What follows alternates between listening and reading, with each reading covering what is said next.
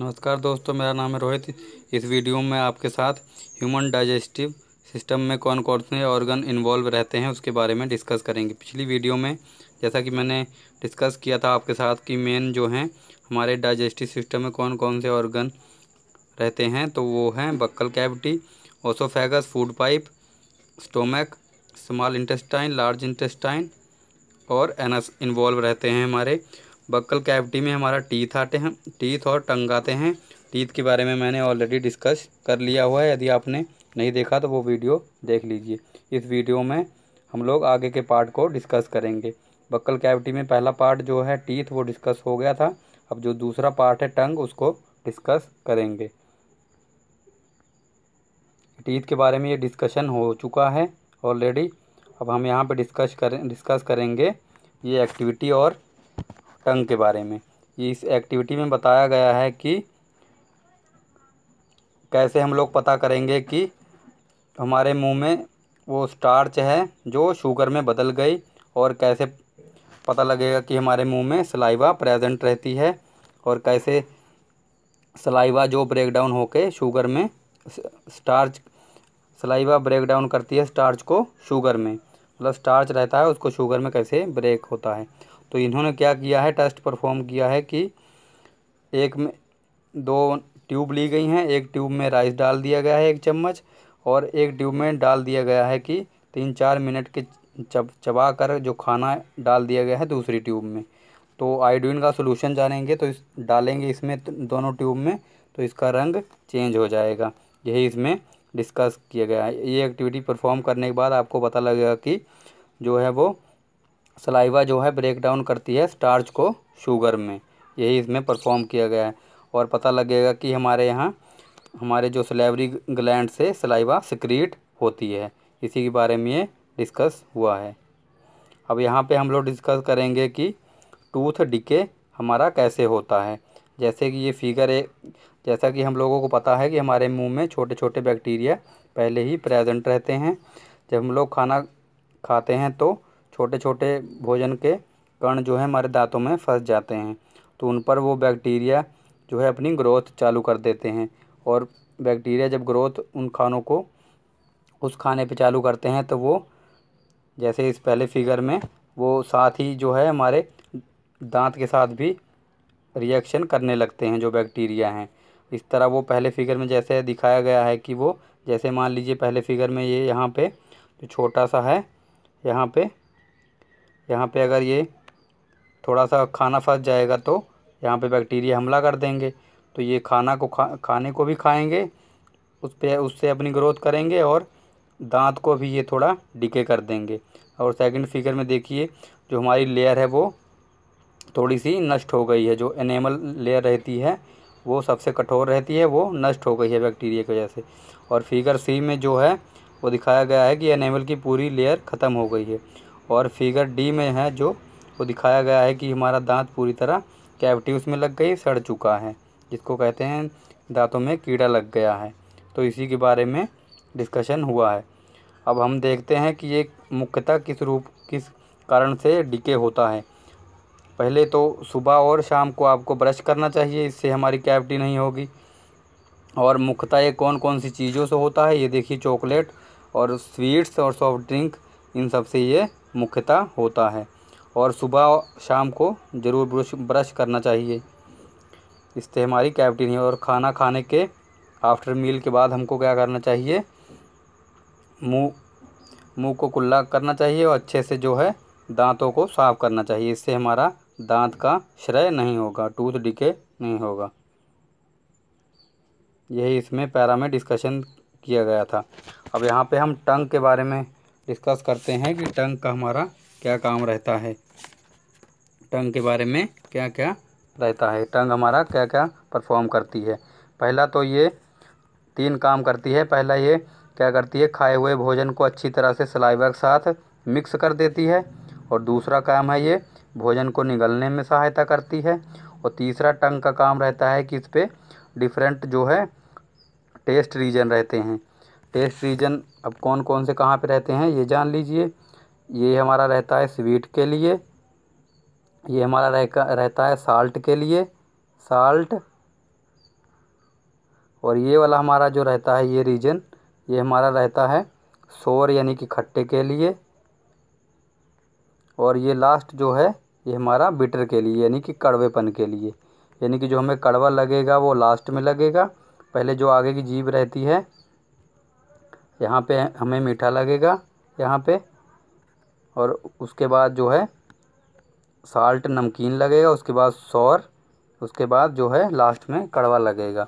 यही इस फिगर में बताया गया है। आशा करता हूँ ये समझ में आ गया।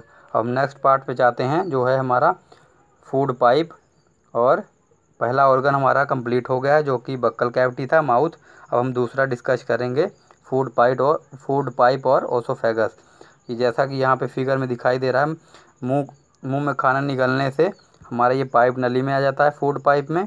और यहाँ पे ये, जैसे कि फिगर में दिखाया गया है कि खाना हमारा नली से पेट में जा रहा है। तो पेट में जाने से हम तीसरा पार्ट डिस्कस करते हैं। आशा करता हूँ ये फ़ूड नली का आपको पता लग गया हो, क्या काम रहता है कि ये नली से हमारा खाना जो है पेट में जाता है। अब हम देखते हैं कि हमारा आगे जो है नेक्स्ट पार्ट वो है हमारा पेट स्टोमक स्टोमक का क्या काम रहता है, वो हम डिस्कस करते हैं. स्टोमक का क्या काम रहता है कि इनर साइड पे स्टोमक के म्यूकस रहता है, जो कि म्यूकस रहता है, जो कि हमारे पेट को प्रोटेक्ट करता है. और जो है फ़ूड में हाइड्रोक्लोरिक एसिड रहता है. एच बहुत इंपॉर्टेंट क्वेश्चन है कि एच सी कहाँ पाया जाता है तो हमारे पेट में रहता है. हाइड्रो एच कहते हैं हाइड्रोक्लोरिक एसिड उसका जो मान रहता है वो दो पॉइंट चार रहता है, एसिडिक में एसिड रहता है वो। वो क्या करता है, जो मुँह से हमारे साथ बैक्टीरिया आते हैं वो उसको मार देता है। और यहाँ पे डाइजेस्टिव जूस भी प्रोड्यूस होते हैं स्टोमक में ही। वो क्या करते हैं, जो प्रोटीन को है वो तोड़ देते हैं।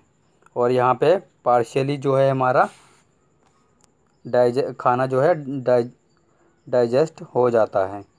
आशा करता हूँ ये तीनों आपको समझ में आ गया होगा कि ये म्यूक, म्यूकस रहता है जो कि हमारे पेट को प्रिवेंट करता है, प्रोटेक्ट करता है और एसिड रहता है जो कि जर्म बैक्टीरिया मारता है, जो मुँह से आते हैं हमारे। और तीसरा है, डाइजेस्टिव जूस रहते हैं जो कि प्रोटीन को सिंपल सब्सटेंस में बदल देता है।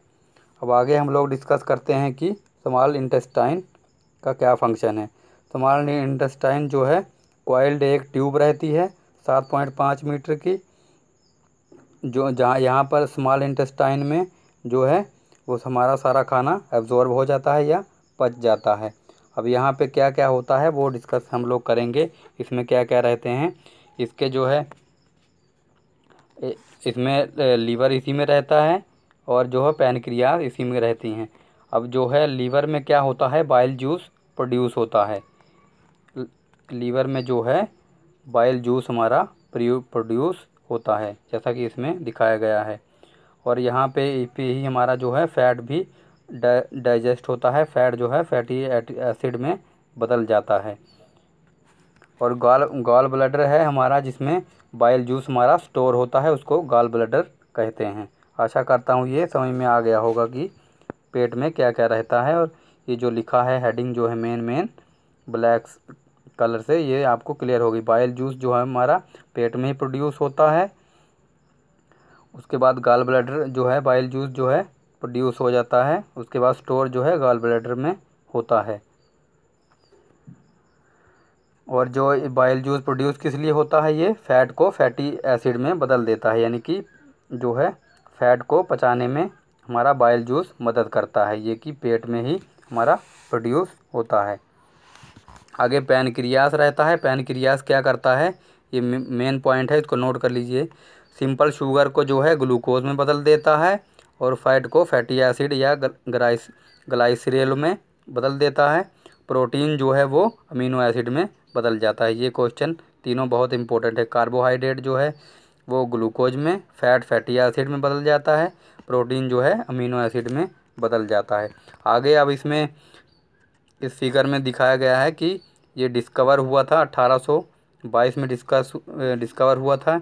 एक मैन है, जिनका नाम है एलिक्स एस्ट मार्टिन। इनको गोली लगी थी। तो गोली लगी होने की वजह से निकालने के मतलब निकालने के चक्कर में जो डॉक्टर है, उन्होंने इसकी खोज कर डाली थी पेट की। तो इसी बारे में यहाँ पे बताया गया है कि जब इसको ठीक करेंगे तो ज़ाहिर सी बात है कि पेट के बारे में जानकारी इनको मिलेगी। तो यही 1822 में ही हमें पेट के बारे में पता लगा था कि हमारा जो है पेट कैसे काम करता है। जिस तरह मैंने बताया था कि क्या क्या इसमें होता है, वो सब इन्होंने 1822 में ही पता लगाया था क्योंकि यहाँ इनके पेट में ही जो ये मैन है मार्टिन, इनके पेट में ही गोली लगी थी। अब आगे हम डिस्कस करेंगे स्मॉल इंटेस्टाइन। स्मॉल इंटेस्टाइन का क्या फ़ंक्शन रहता है?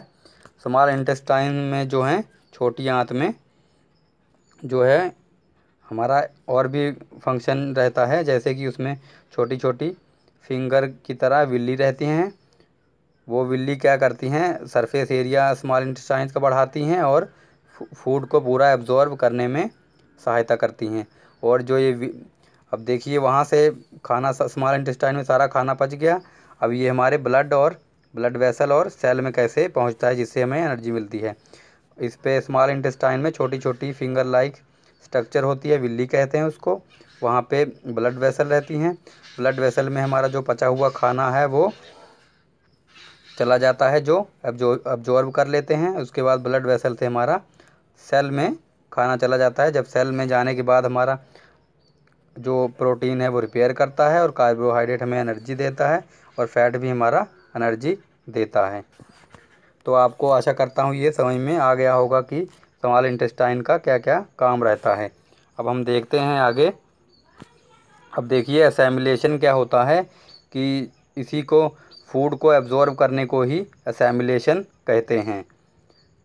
यही इसमें विल्ली और ये एब्जॉर्बशन विल्ली ये मैंने आपके साथ डिस्कस कर लिया है। अब आगे हम डिस्कस करते हैं लार्ज इंटेस्टाइन में क्या होता है। लार्ज इंटेस्टाइन जो है एक पॉइंट पाँच मीटर की लंबी ये भी लेंथ की ट्यूब जैसी ये भी रहती है कुछ। यहाँ पे कोई, पहले तो मेन पॉइंट नोट करिए कि यहाँ पे कोई कुछ भी डाइजेशन नहीं होता है। इसका मेन फ़ंक्शन ये रहता है कि वाटर को,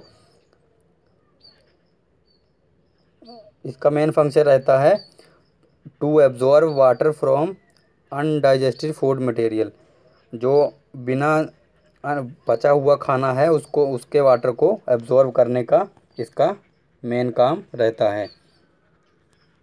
उसके बाद जो है इजेशन होता है। इजेशन में क्या होता है कि हमारा खाना एनएस के थ्रू बाहर निकल जाता है। आशा करता हूँ ये आपको समझ में आ गया होगा कि लार्ज इंटेस्टाइन का क्या काम रहता है कि बिना पचे हुए भोजन में से पानी जो है अलग निकालता है और लास्ट में एनस में इसको इजेशन कर देता है। अब आगे हम देखेंगे कि digestion in grass eating animal कि जो ग्रास, घोड़ा जैसे घोड़ा और गाय, बकरी ये सब ग्रास ईटिंग एनिमल हैं तो इनके बारे में क्या होता है, क्या खासियत इसमें रहती है, इनके बारे में हम लोग डिस्कशन करेंगे। अब यहाँ पे इनको जो ये घास खाते हैं, इनको हम लोग रूमन कहते हैं। रूमिनेंट एनिमल कहते हैं। रूमिनेंट एनिमल इसमें क्या क्या आती हैं? गाय, भैंस, हिरण बफेलो ये जिराफ, ये सब घास खाने वाले जानवर हैं। इनको क्या कहते हैं हम हम लोग? रूमिनेंट कहते हैं। जैसा कि इसमें, अब ये यहाँ पे एक दिया गया है, इसके बारे में हम लोग पहले डिस्कस कर लेते हैं, उसके बाद रूमिनेंट के बारे में डिस्कस करेंगे। डाइहोरिया क्या होता है? इसमें क्या रहता है कि हमारा जो है, खाना वो स्टूल हमारे लग जाते हैं। स्टूल मतलब कि लेटरिंग हमारी जो है बार बार लगती है। उसी को हम लोग क्या कहते हैं? डायहोरिया या इसको प्रोनाउंसिएशन अगर मैं सही से नहीं कर पा रहा हूँ तो आप लोग बताइए क्या है? इसको जैसे लूज मोशन लग जाता है, उसी को हम लोग क्या कहते हैं? तो कैसे ठीक करते हैं? इसको देते हैं फिर doctor O R L solution कहते हैं। O R S solution oral rehydration solution इस, इसमें क्या रहता है ओवरऑल में? कि जो है शुगर रहती है और हल्का सा नमक रहता है, पानी में घोल लिया जाता है। इसी को हम लोग जिसको बार बार स्टूल लग रहे हैं, उसी को दिया जाता है तो ये कंट्रोल में आ जाता है। ये होता क्यों है कि प्रॉपर हमारा डाइजेशन नहीं हुआ रहता है या तो फ़ूड पॉइजनिंग की वजह से होता है। जैसे हम लोग बासी खाना खा लेते हैं, उसकी वजह से भी ये हो जाता है। ये कुछ लोग हम लोग ज़्यादा खा लेते हैं तो उसकी वजह से भी ये हो जाता है। अब आगे हम लोग डिस्कस करते हैं रूमिनेंट्स एनिमल के बारे में। इनमें क्या क्या होता है? अभी जैसा कि ये फिगर में दिया गया है। अब रूमिनेंट इनके चार स्ट्रक्चर रहते हैं, यानी कि पेट के इनके चार सेक्शन रहते हैं। तो ये कौन कौन से सेक्शन रहते हैं? Four chamber rumen reticulum omasum और एबोमेजम ये इनके चार स्ट्रक्चर रहते हैं। इनमें ही जो है इनका होता है रूमिनेंट तो ये लोग पहले खाना खा लेते हैं, उसके बाद इनके पेट में चला जाता है।